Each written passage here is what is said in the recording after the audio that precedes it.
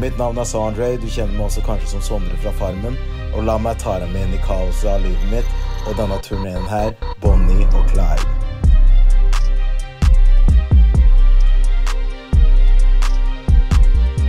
What's up, folkens? Vi er direkte inne fra Riksteatret. Vi skal på turné. Første stopp, det er Moss. Vi har gangen bak her. Det er Siri. Jakob. Så er vi Chris. Så er vi Heidi. Så har vi Christian, som er vår turnéleder og spesielt og full pakke. Passer på oss på turen. Snart skal vi inn i bussen. Check this out. På vei til Los Angeles. On our way to make some chaos. What's up? Okay, we on the bus, we on the bus. Hva skjer, hva skjer, hva skjer, hva skjer? Ok, peeps. Så vi er inne i togbussen. Jeg må bruke lys fra telefonen, for det er ganske mørkt her inne. Eh, vi er på hotellrommet, eller mitt hotellrom, og jeg må si meg ganske fornøyd.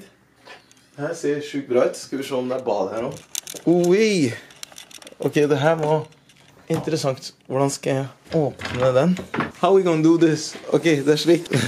Wow-wee! Let's go! Oh my god, look at this! Vi skal gjøre en generalprøveforestilling, faktisk. Selv om vi har hatt urpremiere for uh, videregående elever på Parkteatret i Moss. Gleder oss veldig mye. Uh, nå driver jeg og editerer faktisk denne vloggen her, som dere driver og ser på. Så kniks!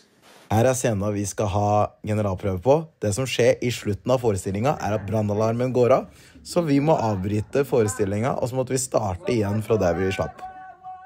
Fast forward, det er dagen etter generalprøve. I dag så er det sånn at vi har urpremiere, eller turnépremiere, på Moss Parkteater.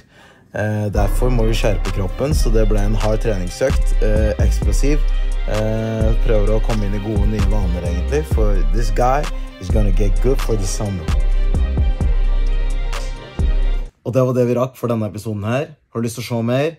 Følg med på Snapchat. Følg med på YouTube. Følg med på Instagram. Alt ligger her.